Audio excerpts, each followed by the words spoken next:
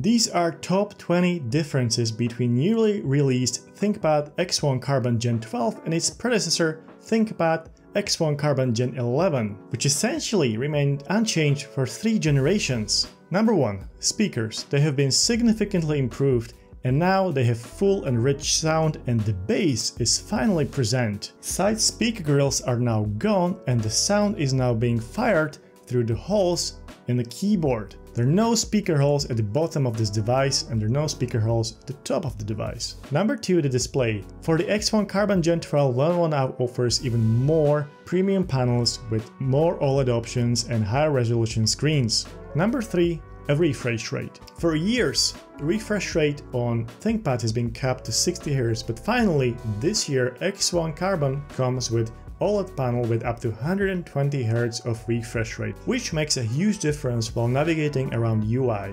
Number 4. Bezels. Bezels have been significantly slimmed down and now you can appreciate a difference, especially if you put Gen 11 and Gen 12 next to each other. The difference is jarring. Number 5. Trackpad. For the first time ever on X1 series, we have an option of haptic trackpad. Now, the haptic trackpad is optional, so you can still configure your Gen 12 with the classic trackpad with three click buttons. But this new haptic trackpad is fantastic. The haptic feedback is great, the palm rejection is very very effective and navigating around UI is joy. Typically I don't use Windows laptop with built-in trackpads, I prefer to use mouse, but on X1 Carbon Gen 12 and its haptic trackpad, I can use this device solely with trackpad. Number 6. Power button. As you can see, the power button has been moved from top of the keyboard area to the right side of the laptop next to ports. Previously, fingerprint reader has been built in within power button, but now there's a dedicated fingerprint reader on the keyboard area and your power button has been moved to the right hand side of the laptop.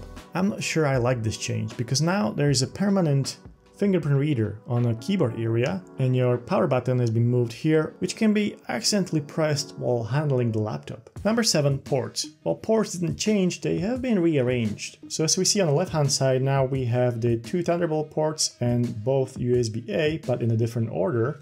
HDMI 2.1 has been moved to the right hand side and the nano SIM card slot is now on the left hand side. If you turn your laptops around, you can see that power button, headphone jack, USB-A and HDMI 2.1. The Kensington lock location remain unchanged. Number 8. Hinges. Hinges are now color match, which helps with overall minimal design. Number 9. Keyboard bumps. There are now significantly more keyboard bumps present, which improves overall accessibility of the Gen 12 and helps with the navigation around keyboard. Number 10. A fingerprint reader. So fingerprint reader has been previously part of power button, but because power button has been moved to the right hand side of the laptop, there is now a dedicated spot for a fingerprint reader right here. It still works pretty well, but it's just gonna permanently occupy one key on the keyboard. Number 11, ThinkPad logo. ThinkPad logo on the palm rest area it's now debossed, which helps with overall minimalistic look. I do like this change, however, it might collect dirt over time. Number 12. Camera bump.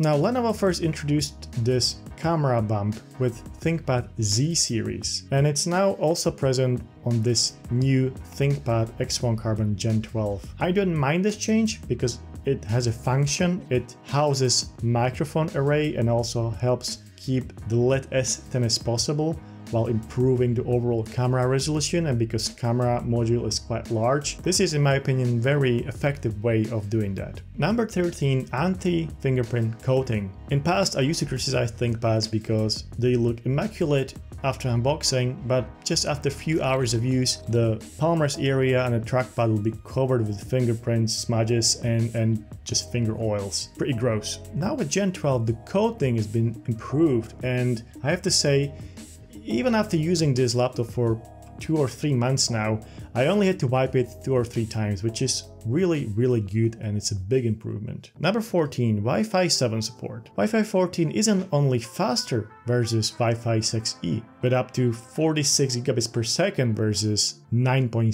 gigabits per second, but also improves channel bandwidth, multi-link operation, modulation, has a higher data density, latency, and also spectrum efficiency. So obviously it will take time for you to feel the benefit as the router in your office or in your home will be replaced with Wi-Fi 7 router, but down the line this is really good in terms of future proofing. Number 15, battery. Battery is now much denser and it's also partially made of recycled materials, which is very good. Number 16, dimensions. Gen 12 is thinner with 14.96 millimeters versus 15.36 millimeters. It's also lighter, only 1.08 kilos versus 1.12 kilos, and it also has a smaller footprint as a side effect of thinner bezels. Number 17 higher screen to body ratio. Once again, thanks to thinner bezels, the screen to body ratio has now improved and it now sits at 89.2% versus 86.23%. Number 18, recycled battery. Battery is now made of 90% post-consumer content, which is fantastic. Number 19, TrackPoint